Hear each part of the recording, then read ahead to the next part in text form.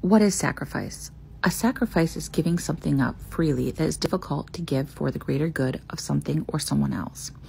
Now, you can sacrifice for baneful things, but that's not my focus here. One very simple sacrifice I'm facing is taking prescription meds and antidepressants for my own greater good and the benefit of my family, despite desperately not wanting to take them. This isn't an argument for or against meds, so please don't take it there in the comments. This is an example. I personally don't want the numbness I feel while I'm on them and the negative health issues that come with them. Again, my personal views.